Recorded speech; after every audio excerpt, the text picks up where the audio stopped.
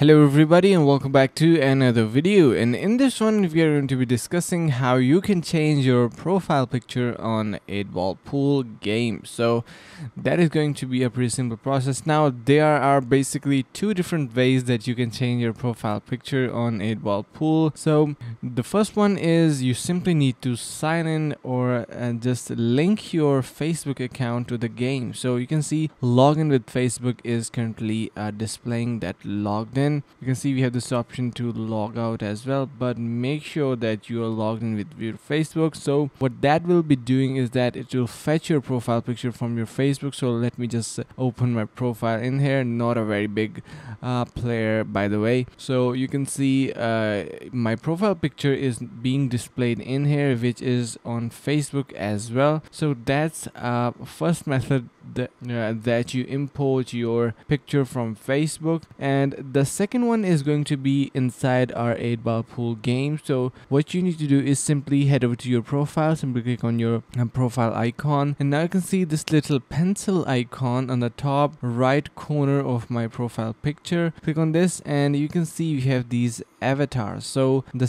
way to change your profile picture is to these avatars. So you can see we have chat packs and stickers but if you want to change our avatar you have to spend some coins and you will have an avatar for your profile picture. So let's just say I want to change it to something like uh, this guy and I will be purchasing it for uh, click on continue. And my uh, simply click on use and now it is using this particular avatar instead of my picture. So you can see it is now changed. So that's uh, method number two to change your profile picture to something like this avatar. I really hope you found this video helpful and it fixed your problem.